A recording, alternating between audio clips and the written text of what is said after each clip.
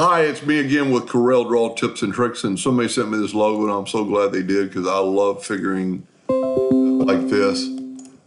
They want each hand, the fingertips, to be in front of the next glove or hand, and you can't do it all the way around because at one point, this hand has to be behind that hand for that hand, and you do this by going back a page. So, or so we go to object in order and we put it back of page. Now the red is in front of the blue, but the blue is behind the green. This is really kind of fun and simple, but I've done it where all the fingertips are in front of the item. So let's just do this one because I've already done that one. And we've got a blue glove that needs to be in front of this.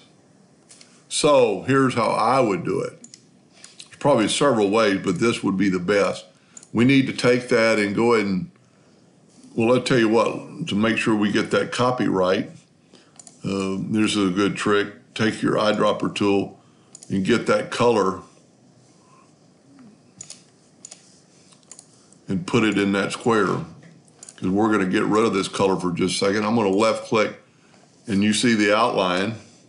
So what we need to do is draw a line, but we need also need to get it out of there.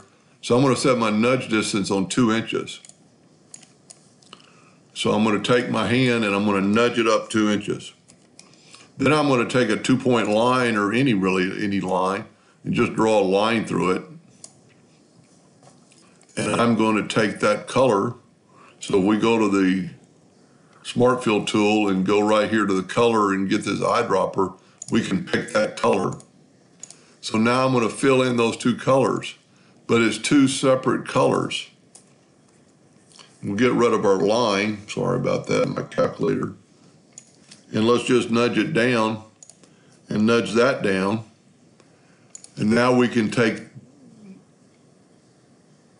this one and go to object, order, back of page. So now all the fingertips, and if we move that out of the way, we can left click no outline. So it's just the, the colors.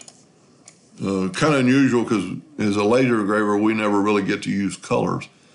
But that's how I would do it. I don't think if you're going to print this, there is a line there, but I don't think it's going to print.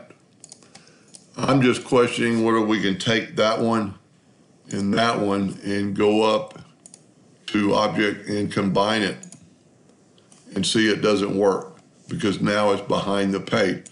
So for the person I'm doing this for, I do not think, I can barely see the line. If you can see that line, there's a way to maybe double fill it and, um, you know, let, us try this. Let's uh, left click, left click both of them, take both of them, and right click a blue line. Then when we go to the Smart Fill tool, there's probably less likely to be a line there. Matter of fact, I can't see it anymore.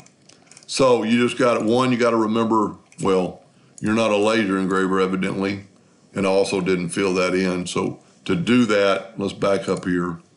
We'd have to nudge this up our two inches and then fill that in with blue and nudge it down. And then we would, as a laser engraver, we wouldn't want to use a hairline, so we're make it a little bit thicker so it, it'll actually maybe work better. And now there should be no line and it won't cut anyway because you're printing it. So I don't see a line, so that should work. Anyway, kind of a fun project. Hope that helped them a little bit. Thank you for watching.